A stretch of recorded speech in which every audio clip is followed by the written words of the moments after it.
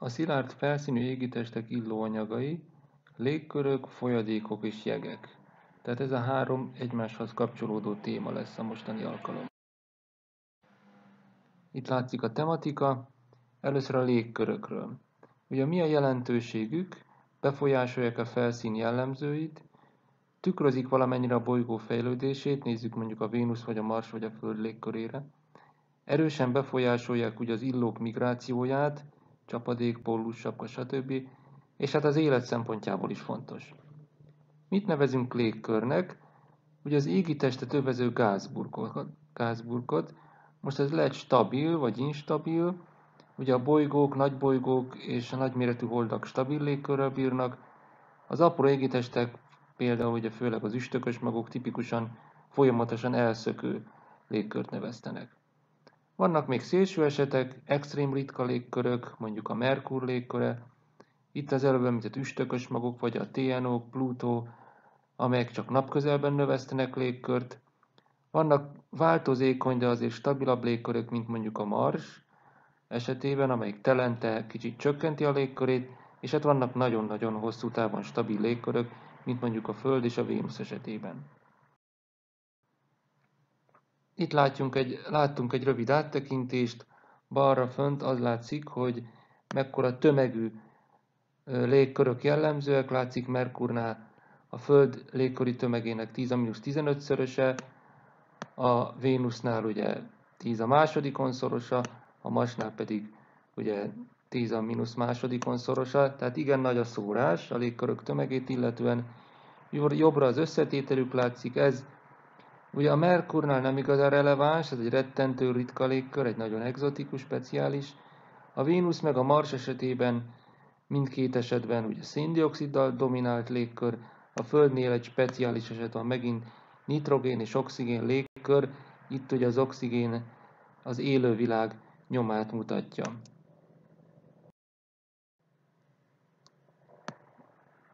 Mit befolyásol a légkör?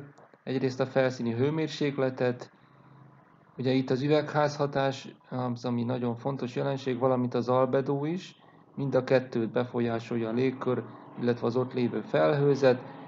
Ugye itt látunk balra lent egy kis táblázatot, a négy föld bolygó van egymás alatt felsorolva, növekvő naptávolság szerint. Itt az albedójuk látszik, itt ebben az oszlopban az egyen, ö, egyensúlyi hőmérséklet látszik, itt jobbra mellette pedig a valódi nappali meg éjszakai hőmérséklet figyelhető meg, ugye Kelvinben. Óriási a különbség, a Vénusznak 240 Kelvin ez az egyensúlyi hőmérséklete, még a Földnél is hidegebb, mert nagyon nagy az albedója, 0,72, 72 százalék, nagyon magas. Viszont a felszínén ennek ellenére nagyon magas hőmérséklet uralkodik, ami ugye az üvegházhatással kapcsolatos, és ezért nappal és éjszaka egyaránt ugyanolyan meleg van gyakorlatilag. Hogy mennyire tud megmaradni egy légkör, az függ főleg az adott égítés gravitációs terétől, de a naptávolságtól is, ami a becsapódási sebességgel kapcsolatos, valamint a mágneses tértől. Legfontosabb ugye a gravitáció, a második legfontosabb pedig a mágneses tér, a naptávolság. Légköri folyamatok, egyrészt energiabevétel, ugye honnan származik a légkör számára, a napfényből a szilárd felszínű égitesteknél ez a domináns, ez is főleg alulról melegedést jelent, tehát a felszínen nyelődik el a legtöbb napfény, és onnan melegedik a légkör. Az óriás bolygóknál ugye más a helyzet, ott csak a külső rétegekben dominál a napfény, belül, mélyebben viszont már a belsőből származó saját belső hő az, ami befolyásolja főleg a hőmérsékletet. Áramlások, és a szél ugye a négy föld, három földtípusú bolygónál Merkur kivételével, meg a Titán esetében is bőségen megfigyelhető, általában alacsonyról magas szélességre történik az áramlás, ugye a napbesugárzással kapcsolatban. Csapadékképződés és csapadékhullás, erre is sok e, példa látható. A Vénusznál ugye a felhőkből elkezd esni a kénysavas eső, csak hát nem éri el a felszínt, de itt említhető a fémek kifagyása a magas hegycsúcsokon, ami egy sajátos csapadékképződés. A Földnél ugye H2-ról van szó, a Marsnál ugye ez a széndioksziddal is ö, kiegészül, Itt ugye széndiokszid kicsapódás hó és jég formájában figyelhető meg. A titánnál pedig a metán esőkről van szó. Itt alul baloldalt és középen a Mars látszik, mindkét esetben éjszaka kicsapódott vízjég, mint dér vagy hó borítja a felszínt, jobbra egy földi példa ugyanerre, jobbra fönt pedig itt középen a Mars Valles Marineris árokrendszerében egy hajnali köd látszik, alul pedig a Titán légkörében mutatkoznak felhők. Ez itt egy áttekintő ábra, balról a Föld, Vénusz, Mars, Titán és utána Jupiter, Saturnus légkörének egy-egy része van ábrázolva, függőleges ugye nő a magasság, a viszintes tengely pedig a hőmérsékletet jelzi, és a feltüntetett görbék, hőmérséklet görbék azok, amiket megfigyelhetünk ugye magasság függvényében, esetleg nappal és éjszaka külön görbe van. Megfigyelhetőek a felhők, például a Vénusznál, itt látszik lényegesen magasabban vannak a felszín fölött, mint mondjuk a Föld esetében. A Marsnál kevés felhő van, a Titánnál szintén viszonylag magas felhőket látunk, és hát a Jupiter meg a Saturnus esete exotikus, egy kicsit más, mert itt ugye nincsen szilárd felszínű. Különleges esetet képeznek az úgynevezett pamacs légkörök, vagy ritka légkörök. Itt közel vákumsűrűségről van szó, tehát van gázanyag, de ez egy rettentő ritka közeket alkot. Jellegzetesen kisbolygó, üstökös mag, típusú égitestek vagy apró holdak légköréről van itt szó, ahol a felszínről származó anyag részben sublimációval, részben vulkáni vagy egyéb aktivitás révén kikerülő gáz, az csak egy ideig tud megmaradni az égitest körül. Itt ugye gyenge a gravitációs tér, hogy tartósan megmaradjon, illetve többnyire a napszél szintén befolyásolja ezt, vagy pedig, mint itt ezen az ábrán látható, az adott óriásbolygónak a mágneses tere az, ami szintén el tudja fújni a légkört, és folyamatosan veszít ez a gázburok a világűr fele. A áramlik a légkör ugye befolyásolni tudja a felszín kinézetét, tehát felszín formálással is bír, ugye a szélhatásról beszélünk. Egyrészt erodál, ugye viszi el az anyagot, pusztítja, kiszárítja esetleg, ami aztán összeomlik és mobilis lesz, szállítja különböző módon, és végül ugye lerakja, lerakódásokat hoz létre. A szállítással kapcsolatban jobbra fent látszik egy jó pofa ábra, Függőleges tengelyen ugye a kritikus indítósebesség látszik centiméter per szekundumban, viszintesen pedig a szemcse átmérője. Itt látjuk, hogy a különböző sűrűségű, légköri sűrűségű égitesteken mennyiben változik ez az indítósebesség. A Vénusznál viszonylag kis sebesség elég, mert ugye nagyon sűrű a légkör, a Földnél egy nagyságrendel nagyobb, a Marsnál még egy további nagyságrendel nagyobb indítósebesség szükséges. Tehát ez befolyásolja a gázsűrűség, de befolyásolja az áramlás jellege is, hogy mennyire örvényesedik ez a közeg, milyen a felszín anyaga, laza vagy cementált, ezzel kapcsolatban mennyi a nedvesség tartalma, mennyire tapadnak össze szemcséki az agregátumok. Itt ugye a földtípusú bolygóknál H2O, mint víz vagy vízjég lehet ez a nedvesség, de más égi testeknél, mondjuk a titánon egyéb anyagok is szóba jöhetnek. Itt láthatunk példát a különböző felszín morfológiai alakzatokra a széllel kapcsolatban. Nagyon gyakori, amikor valamilyen szél zászlószerűség mutatkozik egy adott felszínforma mögött, onnan vagy elerodálja a szél az anyagot, vagy pedig éppen, hogy lerakja az örvényességgel kapcsolatban. A magasból látszanak még széleróziós barázdák is, amikor valamiért egy réteges összletnek mondjuk a puhább rétegeit tudja ki erodálni a szél, de amikor vagy egy égítés felszínén közelről veszük szemügyre, ugye a különböző szélmarás nyomokat, akkor ezek is jellegzetesek lehetnek, bevésnek az a különböző kőzetek felszínébe. Kialakulnak ugye a szögletes kavicsok, a drejkanterek, vagy mindenféle dűnék is létre. Itt láthatunk utóbbiakra néhány példát, itt balra fönt a Marson látunk néhány dűnét, jobbra fönt azok a Titán dűnéi, balra lent a Vénusz felszínéről látszanak dűnék, jobbra lent pedig a Földről mutatkoznak a dűnék. Itt igazából arról van szó, hogy viszonylag száraz közegben a szél valamiféle apró szemcse anyagot mozgat. Minden égitest esetében ez lehet klasszikus kőzetanyag, mint mondjuk a Földön, vagy a Marson, illetve lehet valamilyen extrémebb anyag, mint a, a titánon, ahol általában ilyen vízjég kavicsok, vízjég homokszemek mozognak, többnyire szerves anyaggal szennyezve, sötét szint mutatva. Itt látszik egy nagyon szép dűnesor, barkánok sorakoznak a mars felszínén. Általános jellemzők a légkörökkel kapcsolatban most a Mars esetében, ugye viszonylag kicsi a sűrűség, a földihez képest 6 millibár, egy széndiokszid légkör, nagyon élénk kapcsolatban van a felszínnel, itt látunk jobbra fenn néhány vízjégfelhőt a Mars légkörében, itt az alsó ábrán két képen is az úgynevezett aféliumi felhő látszik, ez egyenlítő környékén van, alacsony szélességen, az északi nyár idején, szintén vízjégfelhőkből, illetve itt láttunk egy ilyen ciklonális örvényszerűséget a légkörből. Nagyon fontos, hogy magas portartalmú ez a légkör, és ez is alkothat felhőket, majd befolyásolja a különböző folyamatokat. Amit érdemes a Mars éghajlatáról, illetve évszakos jelenségeiről tudni, ugye egyrészt viszonylag kicsi a légköri hőkapacitás, a felszín hőkapacitása is, ezért nagyon nagy a napi hőingás, itt látszik a Földön egy napi görbe, itt pedig a Marson alatta látszik, hogy sokkal nagyobb a napi hőingás a Marson. Itt is a vörös bolygón is vannak évszakos jelenségek, ugye a tengelyferdesége a földi helyzethez viszonylag hasonló, kicsit nagyobb, mint 25 fok, de emellett a naptávolság is erősen változik, napközelben ugye erősebb besugárzást kap és gyorsabban halad, naptávolban kisebb besugárzást és lassabban halad, ezért ugye aszimmetrikusak lesznek az évszakok, a déli nyár melegebb és rövidebb, a déli tél hosszabb és hidegebb, míg északon kiegyenlítettebbek az évszakok.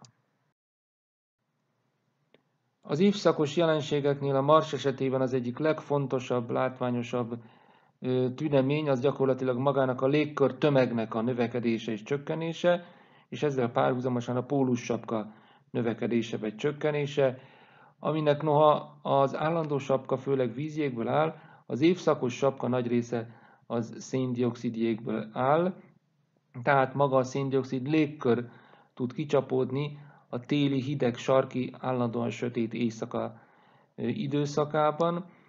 Ennek megfelelően az éves nyomásgörbe az egy kettős pupu valami lesz.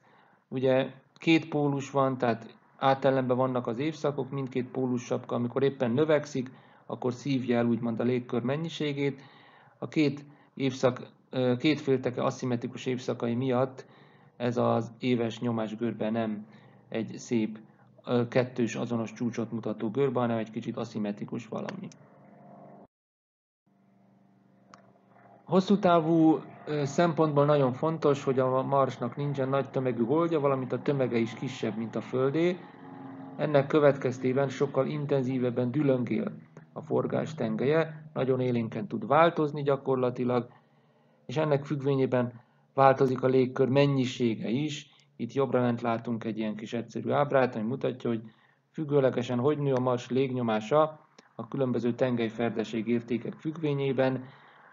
Itt van nagyjából napjainkban 25 fok környékén, de hogy meredekebb lesz a forgástengely, illetve hát dől a forgástengely a pályasíkhoz képest 40-50 foknál két-háromszor nagyobb légkörmennyiséggel bír a bolygó, mint mondjuk jelenleg, és amikor a forgástengely közel merőlegesre áll a pályásikhoz képest, akkor a légkör kvázi összeomlik gyakorlatilag, és a pólussapkák fölemésztik a légkör nagy részét. A másik fontos jelenség, amikor nagy a tengelyferdeség, akkor a sarkvidéki jég az levándorol az egyenlítő környékére, illetve alacsony szélességre, és szélső esetben olyan 50 fok körül, illetve annál nagyobb tengelyferdeségnél az évi összbesugárzást tekintve a pólusok végül is na, több besugárzást kapnak, mint az egyenlítő, tehát egy ilyen nagyon furcsa a földi viszonylatban kicsit anomális helyzet áll elő ilyenkor. A titán légkörének a tömege kb. 10-szer nagyobb a földi légkörnél, de mivel gyenge a gravitációs tér, csak másfélszer nagyobb a felszíni légnyomás. Ez egy főleg nitrogénből álló légkör, kevés metán van benne, ami bomlik, illetve nagyon aktív kémiai jelenségeket hoz létre. Ez egy rendkívül hideg légkör, jellemző benne mínusz 180 Celsius fok körüli hőmérséklet, bár ez természetesen helytől és időtől. Évszakos változásokat sikerült már megfigyelni benne. Az egyik tipikus tüneménye a sarki felhőzet, egy ilyen konvektív jellegű felhőzet mindkét sarkvidéken, valamint a termikus egyenlítőnél a földi trópusi zónához hasonló térségben itt is mutatkoznak időnként felhők, amelyek esetenként heves viharokat hoznak létre, valamint fontos a fotokémiai smog, ami ugye a nap UV-sugárzásának hatására a titán légkör felső részében keletkezik, és a metán elbomlásával itt hosszú szénláncú szénhidrogének jönnek létre. A Vénusz légköre egy másik fontos esetet képvisel, egy rendkívül nagy tömegű légkör, ugye kb. százszor annyi gázmennyiség van a Földön, van a Vénuszon, mint amennyi a Földön. Ennek következtében kb. 90 atmoszféra nyomás, mivel az a légkör széndiokszidból áll, főleg ami erős üvegházhatást ö, vált, képvisel, ezért a felszíni hőmérséklet kb. 450-460 Celsius fok körüli, éjjel-nappal mindig gyakorlatilag. A magas hőmérséklet miatt a vízpárából álló felhők igen nagy magasságban jellemzőek, sokkal magasabban, mint a Föld, ilyen 50-60-70 kilométerrel mutatkoznak a felszín fölött, amelyekből ugye ez a kénsavas eső esik, a kén valószínűleg vulkáni eredetű, de a magas hőmérséklet miatt ez, a, ez az eső gyakorlatilag sosem éri el a felszínt, ugye, hanem visszapárolog. Szolgáló edénynek az alakját, térfogattartó, nem alaktartó, és hát ugye a reális esetben van valamennyi belső surlódása. Sokféle dolgot tekintetünk ilyen megkötésekre még mindig folyadéknak, egyrészt a magmás olvadékokat, amelyek lehetnek teljesen olvat vagy részlegesen olvat magmák, tehát teljesen folyékony vagy folyékony szilárd kevert halmazállapotúak, és ide nem csak a földi magmákat soroljuk, hanem a különböző kriomagmákat a külső naprendszerből. Lehetnek szuperkritikus folyadékok az óriásbolygók belsében, itt részben ilyen elfajult állapotról van szó, tehát ez tényleg más, mint a hagyományos értelemben vett folyadék.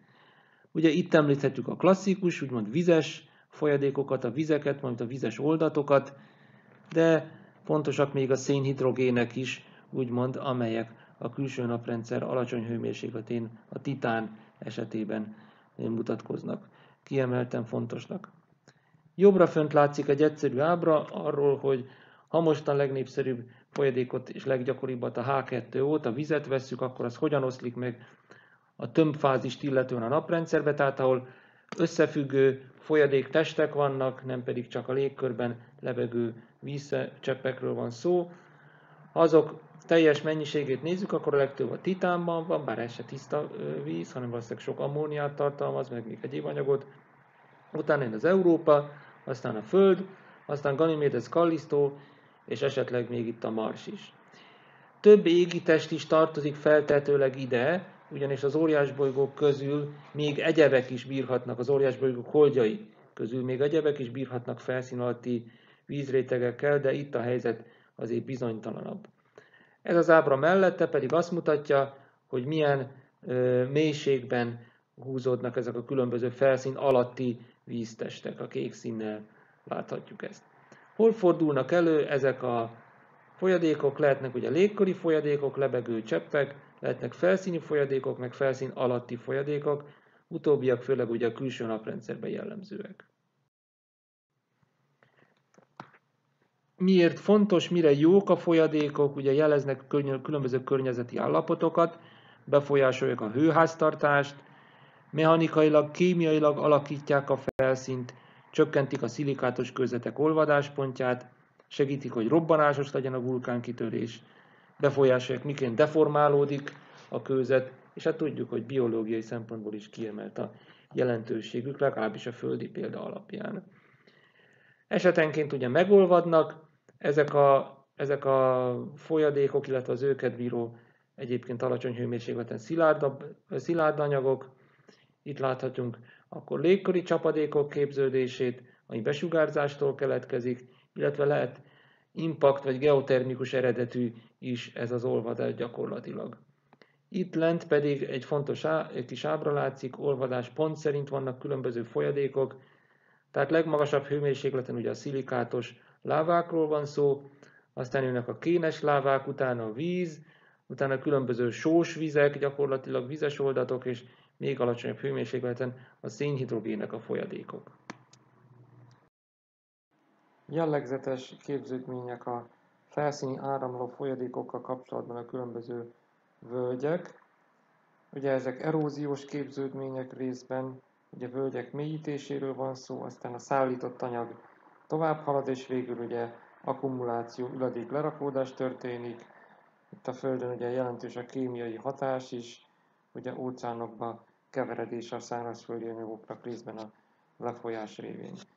Jobbra fönt látható a Földről egy kép, a Nílus felső folyásáról látunk, egy szakaszt vízzel kitöltve, középen a Mars, Nanedi Vallis térsége, alul pedig a Titán. Ott látszik folyóvölgy, azonos méretaránya, balra pedig szintén három folyóvölgy a három égitestről, amelyek így speciál hasonló méretűek lettek nagyjából kiválasztva. Demonstrálandó, hogy tényleg vannak hasonló méretskálájú képződmények, folyó képződmények, folyóvíz által létrehozott alakzatok az égitesteken. Itt ugye a titán esetében folyó szénhidrogénekről van szó. Nézzünk néhány további jellegzetes alakzatot. A völgyek mellett ugye vannak szigetek, itt a Marson látunk ugye óriási áradások által létrehozott szigeteket. Itt vannak üledékes képződmények a Marson, egy folyóvölgy, valószínűleg a középső az, az alsó, az nem biztos, hogy egykori vízfolyás által keletkezett. Itt viszont egy vízfolyásnak az ilyen lerakódott, madárláb kinézetű hordaléklerakódása látszik. És hát maguk a feltöltött síkságok szintén jellemzőek mondjuk a Marson meg a Földön elsősorban, eh, amelyek ugyancsak részben folyóvízzel kapcsolatban keletkeztek. A Marson ilyen nagy számban láthatunk idős folyóvölgyeket a felszínen, jobbra fent látszik ezekről néhány példa. Ezek nagyon idősek, általában 3,5 milliárd év körüliek, vagy annál idősebbek, főleg a déli felföldeken mutatkoznak, és viszonylag fejletlen vízhálózatot képviselnek, feltehetőleg egy korai, a mainál lényegesen nedvesebb időszak. Ezeket hálózatos csatornáknak, vagy hálózatos völgyeknek is nevezik. Csak némelyik elvégződésénél mutatkoznak üledékek, általában kisebb hálózatokat alkotnak, amelyek nem kapcsolódnak össze nagy globális egységes rendszerré, bár a domborzat elemzés alapján több helyen ez azért valószínűsíthető, csak nincs meg szépen az összeköttetés mindenhol az eredeti állapotában. Nagy kérdés, hogy hogyan keletkeztek, a klasszikus elgondolás szerint esőzésekkel, ugyanakkor azt sem lehet kizárni, hogy jégolvadással jöttek létre, ami lényegesen hidegebb környezetben is tud vízfolyásnyomokat kialakítani. Fiatalabb, de nem túl fiatal képződmények, 3,5 milliárd évnél fiatalabbak az úgynevezett áradásos völgyek vagy áradásos csatornák, ezek nagyon nagyméretű képződmények, szélességük a 10 kilométeres nagyságrendben esik, mélységük kilométeres, hosszú több száz, néhol ezer kilométer is megvan. Nagy területet borítanak el, hatalmas áradások formájában kell elképzelni, ahogy a vízük a felszínen áramlott, főleg ezek már egy hűvösebb éghajlati időszakában keletkeztek a Marsnak, általában a vulkáni területek környékén, mint a Tárvízhátság peremvidékén, vagy az Elízium hátság környékén mutatkoznak, esetleg a Hellas-medence vulkánjainál. Általában vulkáni fűtés hozta létre őket, vagy ezzel kapcsolatban keletkeztek. Feltetőleg felszín alatti jég megolvadásáról van szó, a kérdéses terület aztán összeomlott, és ugye lejtő irányba lefolytak ezek a hatalmas víztömegek. Ez már lé, ezek a áradásos képződmények a Mars hűvösebb éghajlatú időszakában keletkeztek, könnyen elképzelhető, hogy jég alatti vízáramlással. Csak hát óriási volt a víz, ezért nagyon kitartóan áramlottak, úgymond még az alacsony hőmérséklet ellenére is. Itt jobbra néhány keresztelvényt látunk, például Kazei Valles, Ares Vallis, ezek nagyon nagy képződmények, itt a Gibraltári szoros összehasonlításként a Földön. Tehát egy ilyen összetört, kaotikus kinézet úgynevezett káoszterületről indulnak, és aztán lefele áramlottak és szétterültek a síkságok területén. Elképzelhető, hogy időnként az északi síkságnál ilyen rész feltöltést hoztak létre vízzel, ami aztán befagyott, és aztán szép lassan elszublimált. Keletkezésükre itt van a legelterjedtebb modell, ez a bal oldal, az ábra a bal oldalán a déli pólust, északi oldalán az északi pólust mutatja, és amikor a hűlés miatt a felszínen, a felszín alatti sekélyrészekben egy ilyen ö, krioszféra jellegű tartomány alakult ki, a kőzetek pórusaiba belefagyott a víz, a vulkáni kitörések nyomán ez a fagyott réteg néhol megszakadt, és a vulkáni központok területén, ahol a felszín alatt nagyobb mélységben még cseppfolyós víz volt, ott kitört és kiömlött úgymond az északi síkságokra. Kb. egy milliárd évvel ezelőtt is voltak még ilyen események, de ezek periódikus, vagy inkább időszakos események voltak, amelyeket hosszú, inaktív szakaszok választottak el. Érdekes olvadásnyomok vannak egyes vulkánok lejtőin, itt feltétlenül maga a vulkán gyegesedett el, és ez egybeesett valami vulkáni aktivitással, és ezért a jég a felszínükön megolvadt és lefolyt, itt is néhol üledékes lerakódások vannak, esetleg tavakba ö, halmozódott a kifolyt víz. A déli pólus sapka alól is történhetett ilyen vízolvadás és vízkifolyás, erre utaló képződmények is vannak, méghozzá egész összefüggő vízrendszer jöhetett létre. Itt az ábrán, ahol a déli pólusak alól kiáramló vizek az Argíria medencébe halmozódtak föl, majd onnan több szakaszban átfolytak az északi síkságok területére. Amelynek keretében ugye egy globális áramlási rendszer van, tehát ez nagyon fontos energiaszállítás szempontjából. Csökkenti ugye a hőingást is a nagy víztömeg, ilyen a ezek a marsnál csak a korai időszakban várhatóak, valamint nagyon fontos a légköri széndiokszid kivonása keretében ugye csökkentik megfelelő kémhatás meg egyebek esetén eh, kiváló karbonátos kőzetek révén a légköri széndiokszid mennyiséget. Ugye a Vénuszon erre valószínűleg nem került sor, ezért ugye a légkörben maradt a széndiokszid, létrehozva az erős üvegházhatást, míg mondjuk a Földön egy vénusznyi légkör széndiokszid tartalma van megkötve a felszín alatt a karbonátos körzetekben. Álló folyadékokra néhány példa, a Földről ugye ezeket jól ismerjük. Ez itt egy fantázia rajz a Marsról, ott régen lehetett sok álló folyadék, tó vagy úgymond tenger is, hogyha úgy nevezzük.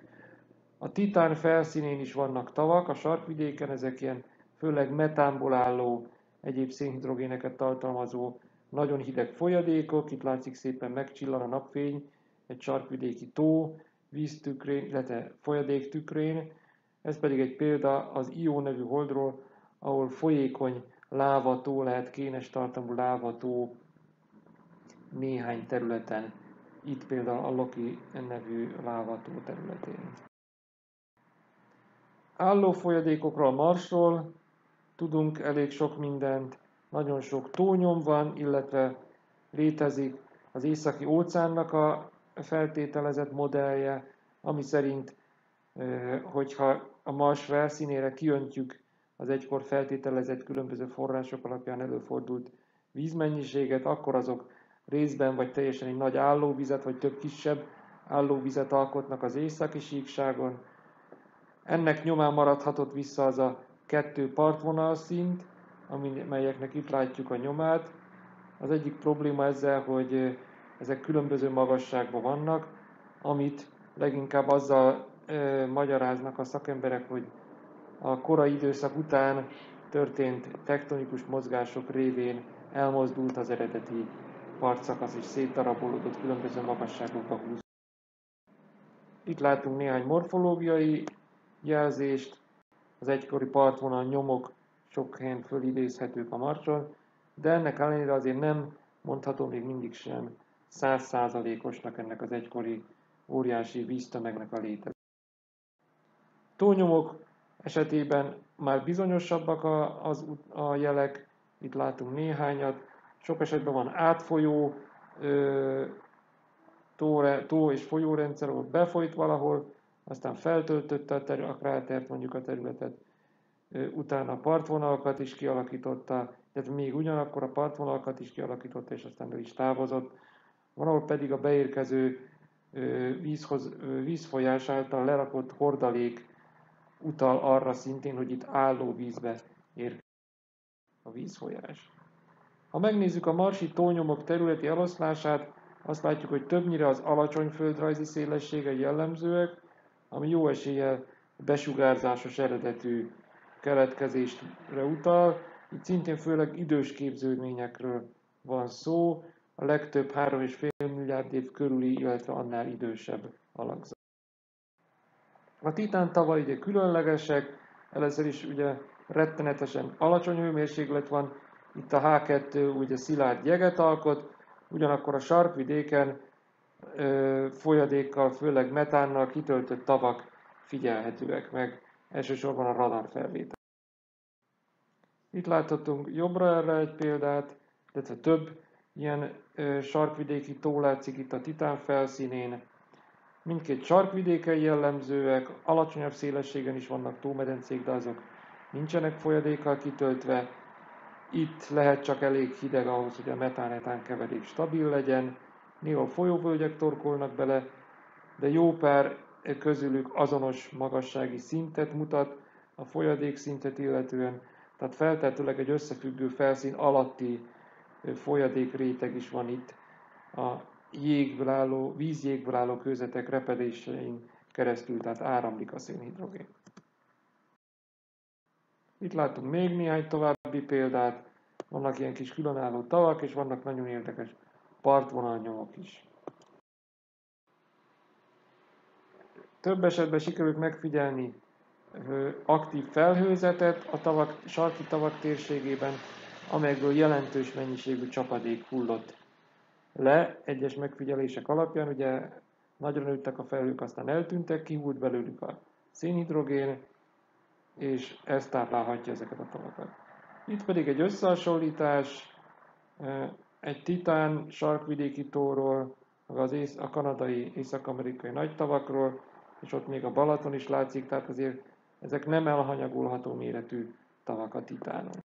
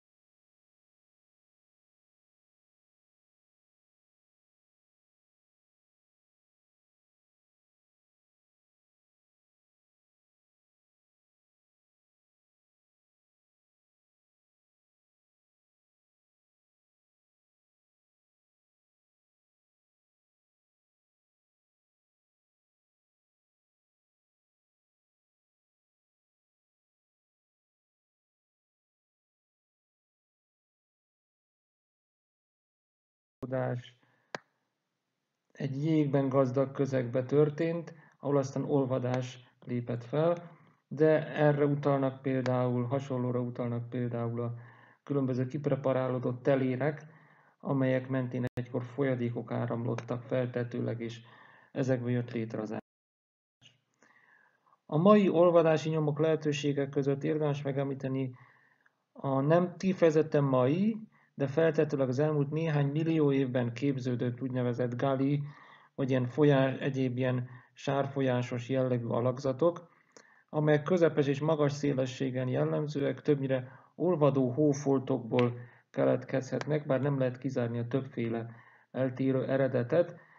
Van néhány megfigyelés, ami arra utal, hogy akár a jelenlegi időszakban is létrejöhetnek, de ezek nagy része nem nyert igazolást.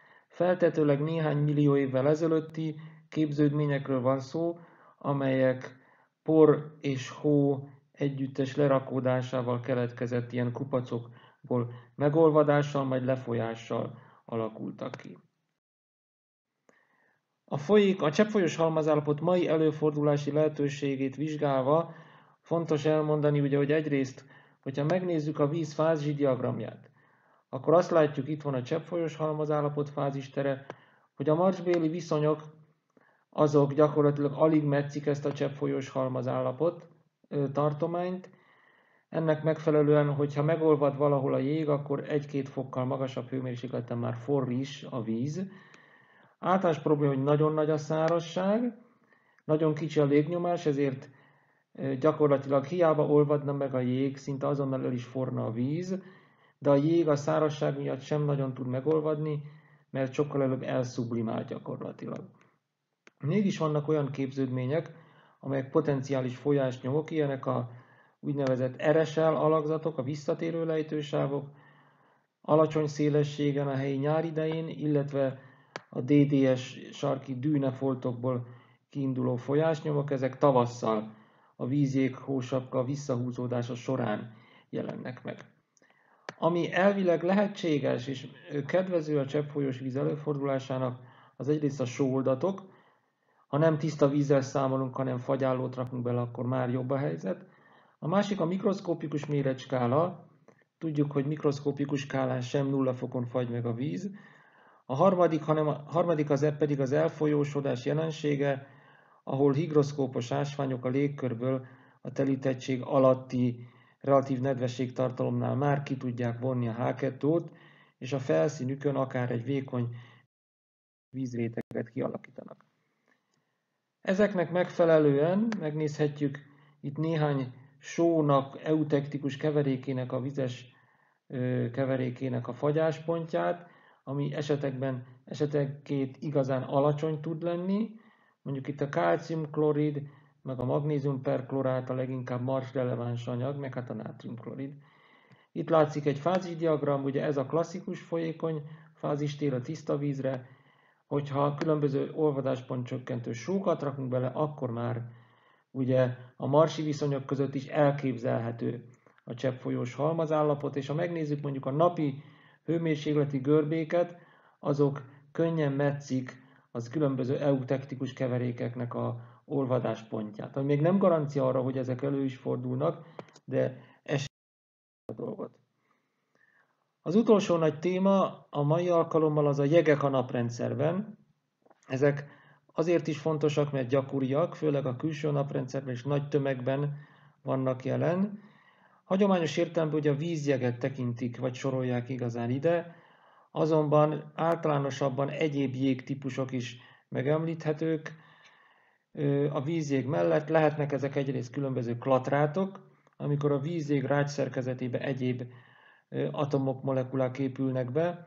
Lehet széndiokszid jég, lehet metánjég, lehet nitrogén jég, ezek egyre alacsonyabb fagyáspontot mutatnak. Hol fordulnak ezek elő? A leggyakoribbak vagy legjellemzőbbek az óriás bolygók jégholdjai, emellett klasszikusan üstökös maguknak rendelt objektumoknál, alárendelt kisbolygóknál is, illetve a Föld, valamint a Mars esetében előfordulnak jelentős mennyiségben, a Hold és a Merkur esetében szintén megjelennek. Nagyon fontos, hogy a vízjegek nagy nyomású környezetben másfajta kristályrácsot vesznek föl, mint a klasszikus, úgymond egyes típusú jég. Ez itt a föld, földi viszonyok között nem igazán várható, maximum laboratóriumban lehet előállítani, ugyanis nehez nagy nyomás kell, tehát nagy mélységű betemetődés kell, a Földön pedig a magas geotermikus gradiens miatt a mélyen lévő anyagok magasabb hőmérsékletűek, tehát itt ezek a úgynevezett HP, high pressure jegek, ezek nálunk nem jelennek meg.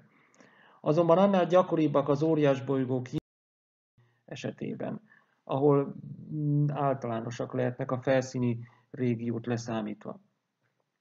Fontos megemlíteni, hogy a Merkurnak és a Holdnak egyaránt van jég a sarkvidéki krátereiben, jég és porkeverékekről lehet itt szó, ezek megfigyelése nagyon nehéz, mivel a leghidegebb kráterekben fordulnak elő, ahol a nap nem igazán tudja felmelegíteni, vagy csak nagyon-nagyon ritkán tudja felmelegíteni a felszínt. Ezekbe persze ugye éppen ezért nagyon nehéz belátni. A Merkurnál ezeket a földi radarmérésekkel fedezték föl. A becslések alapján itt néhány méter vastag rétegről lehet szó, por és jégkeverék, az, amiről itt, amivel itt találkozhatunk. Általában 5 foknál nem messzebbi kráterekről van szó a pólustól számítva, és a becslések alapján olyan 10 a 14 kg jég lehet a Merkuron, ami azért lényegesen elmarad még akár a Mars sarki jégsapkájától is, utóbbi ugye százszor annyi jégmennyiséget tartalmaz, a földi Antarktisz pedig még két nagyságrendel többet, mint a marsi. A Holdnál a sarkvidéki kráterekben sikerült eddig vízjeget azonosítani, különböző közvetett mérésekkel, közvetlenül még nem, neutronspektrométeres mérésekkel, rádió mérésekkel, néhány infravörös mérés is erre utalt, illetve közvetetten, vagy félig közvetetten úgy sikerült kimutatni, hogy 2009-ben az Elcross nevű amerikai űrszonda rendszer becsapódott. Egyik tagja maga, a lövedék nevű tag csapódott be először a Cabeus kráterbe, majd a kirobbant anyagon áthaladt a szonda következő egysége, amelyik sikeresen észlelte nem csak a H2-ot, hanem szénmonoxidot, szénhidrogént és higanyt is talált. Tehát itt a, úgy néz ki, hogy a sarkvidéki térségben néhány tíz, néhány százezer köbméter jég lehet regolittal összekeverve, természetesen a legsötétebb és éppen ezért leghidegebb kráterekben jelenik meg. Van egy másik, úgymond vízmolekula előfordulás, itt adszorbeált vízmolekulákról lehet szó alacsony szélességen, a Holdon. Feltetőleg a napszélből származó hidrogén a felszíni regolitból felszabaduló oxigénatomokkal kapcsolódik össze, esetleg ebben mikrometeorit becsapódások is közreműködnek, és így keletkeznek H2 molekulák, amelyek aztán adszorbeálódnak, és rövid ideig nagyon kis koncentrációban előfordul. A jégholdak esetében sokkal gyakoribb már a fagyott H2 előfordulása. Az egyik leghíresebb ugye az Európa jégpáncéja, egy 10-20-30 vagy inkább néhol 50 km vastag jégpáncél van itt, ami az olvadás idején vékonyodhat ki kb. néhány kilométerre, egyébként többször 10 km vastag lehet, ez alatt van egy folyékony vízóceán, amelynek az alján hogy aktív hőforrások lehetnek, ezek különböző vulkáni tevékenységet folytatnak, amelyek a felszíni jégen aztán olvadásnyomokat hoznak létre, vagy elszíneződéseket alakítanak. Itt látunk erre kétfajta modellt, az egyik szerint maga a víz éri el majdnem az olvadás réven a felszínt, egy másik szerint csak benyomul a jégbe, egy ilyen vízlencse alakul ki, és úgy olvasztja meg, vagy repeszti meg a felszíni anyagot. Elképzelhető, hogy ez mindez periódikusan zajlik, ugyanis a galilei holdak rendszerében ugye periódikus ciklusok szerint változik az árapályhatás, és az így felszabaduló Hasonló vízréteg lehet a Ganymedes, Callisto belsejében, illetve a Titán belsejében, erről már korábban ejtettünk szót. Itt az érdekesség, ugye nagy nyomású HP-jekek fordulnak elő, ugye ez alatt a vízréteg alatt, tehát úgymond ilyen szendvics szerkezet is elképzelhető. Fontos, hogy ezeknek a jegeknek másfajta a reológiája, a mechanikai tulajdonsága, a vezetőképessége és számos egyéb paraméter. Jegekről a Mars esetében is beszélhetünk, ugye itt vízjégről, meg széndiokszidjégről van szó. Ha a H2-t nézzük, a Marson annak a nagy része ma szilárd halmazállapotba fordul elő, a légkörben egy nagyon kis mennyiség van, a pólus sapkákban globális egyenértéket tekintve néhány méter vagy 10 méter fordul elő, a legnagyobb tározó pedig a krioszféra lehet, aminek a felszín alatti térséget nevezzük, ahol a kőzetek repedéseit H2 vízjég tölti ki, főleg esetleg egy kevés egyéb anyag is belefagy, de itt főleg vízjégről lehet szó. Érdekes megfigyelés látszik jobbra lent, neutronspektrométeres mérésekkel a felső két méteres réteg H2 tartalmát határozták meg a Marson, ami nem csak a pólusoknál magas, hanem néhol néhány folt területén az egyenlítő térségében is mege, megemelkedik. Itt feltehetőleg víztartalmú higroszkópos anyagokról, ásványokról van szó, H2 tartalmáról. Tehát az előző krioszféra, amit említettünk, az a Marson a fő jégtározó, részben fizikailag, részben kémiailag kötött H2-t, esetleg széndiokszidot tartalmaz, néhol akár klatrát is lehet, de ezt még bebizonyítani úgymond nem sikerült. Valószínűleg nagyon hosszú időskálán stabil, akár milliárd éves időskálán is stabil lehet. És a nagy kérdés, az egyik nagy kérdés, hogy a jégréteg alatt van egy cseppfolyós halmazállapotú fázis, tehát nagy mélységben a kőzetek repedéseit kitölti-e a folyékony víz, esetleg a folyékony sóldat. Ezt egyelőre nem lehet tudni, ugye nemrég sikerült megfigyelni a Mars déli sarkvidékén a poláris réteges üledékek alatt olyan másfél kilométer mélyen néhány vízlencsét úgymond, amelyek tavak címen jelentek meg a médiában, de nem tudni igazából, hogy ezek tényleg milyen vastagak, milyen mélyek. A lényeg, hogy néhány helyen tehát előfordult cseppfolyós halmazállapot, itt a felszín alatt a Marson, de ezt igazából még nem látni, hogy ez összességében, általánosságában hogyan néz ki, hogyan jelenik meg. Amit még sejtünk, és egyrészt a lebenyes kráterek eloszlása alapján numerikusan ki is lehetett számolni, bizonyítani, hogy alacsony földrajzi szélességen valószínűleg a regolit felső tartománya az kiszáradt az évmilliók, milliárdok során, és ott a krioszfér az mélyebben kezdődik. Kivéve a legeslegfelső vékony réteget, a regolitot, ahol feltetőleg a higrok tudják ezt csapdázni. Néhány érdekes vízjég előfordulás, ami nem a pólusokat illeti, nem a sarki pólussapkákat, magas szélességen, olyan 50 fok környékénél magasabb szélességen úgy néz ki, hogy feltetőleg szinte az egész Marson létezik egy ilyen elég tiszta vízjég, vagy inkább vízhó réteg, amit por borít be. Feltetőleg ezek az éghajlatváltozással kapcsolatban keletkeztek, ezek a lerakódások, és ahol egy becsapódás átüti ezt a vékony réteget, ott egy ideig látszik még a kidobott vízjég, ami aztán persze később idő sublimál. Hát a leglátványosabb vízjég tározók ugye a Marsnak a pólussapkái, itt érdemes észak és déli pólussapka esetében állandó és évszakos sapkákat is megkülönböztetni. Az állandó az ilyen kilométer, több kilométer vastag vízjégből áll, a Néhol egyébként esetleg beépül széndiokszidjég, de nem jellemző, illetve még nem tudjuk pontosan, hogy hol és miként.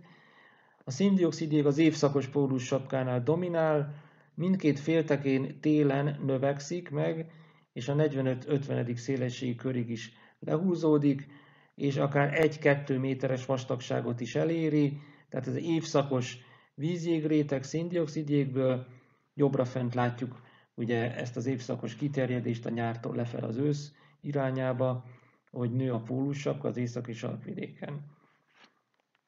És ez az, ami ugye a légkörből az adott féltekén, az adott helyi tél idején szívja a légköri széndiokszid egy részét.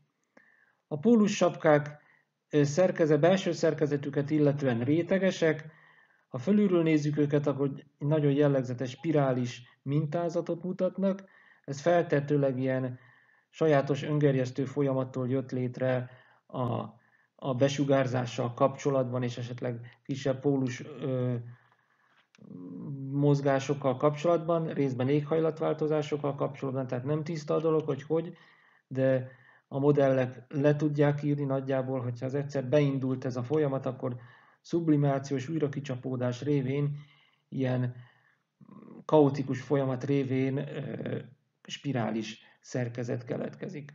Nagyon fontos, mindkét pólussapka alatt egy kiterjedt, a pólussapkáknál nagyobb, főleg délen nagyobb, réteges poláris üledék összlet húzódik, jégpor keverékből, nagyon sűrű rétegzett valami, ami feltetőleg éghajlatváltozásokkal kapcsolatban jött létre, és az egykori éghajlat módosulásoknak. Sokáig nem volt egyértelmű, hogy a Marson vannak-e a földi gletszerekhez hasonló képződmények, most úgy néz ki, hogy vannak. Jobbra látunk a Marsról és a Földről egy-egy ilyen példát. A marsi gletszerek most nem aktívak, a jég egy felszíni törmeléktakaró alatt úgymond statikusan áll, tehát nem mozog, de feltétlenül vannak olyan időszakok az éghajlatváltozással összefüggésben, amikor megindulnak ezek az áramlások. Balra lent pedig a Mars és a Föld esetében látunk úgynevezett mintás periglaciális felszínt a sarkvidéki területeken, vagy a cirkumporális területeken, ahol a Föld esetében ugye a vízidőszakos megfagyása és olvadása, ennek a váltakozása hozza létre a furcsa mintázatot, meg ezzel összefüggésben egy csomó más ö, szemcse folyamat. A Mars esetében ez szintén egy lehetőség, de még inkább valószínűleg tartják a szakemberek, hogy inkább a dominánsan a, a jég képződése, majd visszaszublimációja, ennek a periódikus váltakozása okoz olyan fajta mechanikai hatást ciklikusan, amelyik ilyen mintás talajok kiadményezi. A magas vulkánok környékén, a Tárzis hátságnál, azoktól északnyugatra, jobbra fönt sárga színnel látjuk ezeket a területeket, tehát tőlük északnyugatra vannak olyan gletszer nyomok, amelyek arra utalnak, hogy néhány kilométer vastag jégtakarók jelentek meg valamikor a múltban itt, hogy pontosan mikor ezt nem tudni, de úgy néz ki, hogy nem a nagyon távoli múltban, hanem mondjuk kb. néhány millió és mondjuk 300 millió évvel ezelőtti időszakban lehettek itt ilyen gletszerek, vagy ahhoz hasonlóak, tehát valószínűleg mozgó jégárak, amelyek törmeléket termeltek és mozgattak, és föl is halmoztak, a földi morénákra emlékeztető alakzatokat létrehozva. Itt megint arról van szó, amit korábban is beszéltünk, hogy az éghajlatváltozással kapcsolatban, amikor a tengelyferdeség nő, akkor a sarki jég elkezd leáramlani alacsony szélességre, és úgy néz ki előszeretettel csapódik ki itt a vulkánok szélárnyékos lejtőkön. Talán a szélárnyékos oldalon. Egyéb jeges alakzatok, közepes és magas szélességen nagyon sok ilyen van, ezek többnyire valamiféle plastikus mozgásra utaló kinézetet mutatnak, tehát részben akár földi gletszerekre, sziklagletszerekre hasonlíthatnak, gyakran a hegyek lábán, hegylábi területeken jellemzőek, de feltetőleg ezek aktívak. A kráterekben is sok ilyet tudunk megfigyelni, ott a kráterekben befele áramlás történhetett, vagy mint jobbra lent a magasabban fekvő kráterből az alacsonyabban fekvő kráterbe történt az áramlás. Itt balra lent pedig egy radarfelvétel, felszín alá behatoló radar, az, a SARAD, az MRO űrszondán. A kék szín mutatja a felszín alatti jégnek az előfordulását, tehát tulajdonképpen ezekben a völgyekben, ahol azt mondtuk, hogy a gletszerekre vagy sziklagletszerekre emlékeztető kinézetű felszín van, ott nagyon sok helyen ma is ott van a jég, és ezt sikerült kimutatni, néhányszor 10 méteres kőzettörmelék alatt ott vár, úgymond, a kedvező éghajlatú időszak. Ugyancsak közepes és magas szélességen létezik egy olyan jeges poros réteg, amiben a korábban említett lefolyások, ezek a gali, sárfolyás jellegű szerkezetek, képződmények kialakulnak, illetve ezekben is vannak deformációs alakzatok, Ugyanakkor az még nem sikerült tisztázni, hogy ez milyen kapcsolatban van azzal a eltemetett, tisztább jégréteggel, amit kihantolnak néha a becsapódások. Lehet, hogy a kettő nem különbözik, de lehet, hogy nem ugyanarról van szó. nem tudni egyelőre pontosan. Balra lent pedig úgynevezett kriokarstos formák látszanak. Ezek a földi karstosodás mintájára olyan képződmények, amelyeknél a por és jég volt együtt jelen, lerakódott együtt a légkörből, majd innen a jég eltávozott, ettől a szemcse szerkezet laza lett, és néhol beomlott, néhol kifújta őt a porszemcséket a szél, tehát ilyen kriokarstos, száradásos és sublimációs eredetű mélyedések, ezek marson. Itt pedig befejezésként még néhány kép, baloldalt a Mars poligonális vidékeire, jobb oldalt a jobb oldali ábrasornál a Föld, látszik legfölül, középen és alul pedig a Marsról felszínéről néhány felvétel, ami ezeket a sarkvidéki cellás szerkezeteket mutatja, ahol inkább a kiszáradás és nedvesedés váltakozása lehet a domináns felszín hajtó ágens, mint mondjuk a Földnél ugye az olvadás-fagyás váltakozása.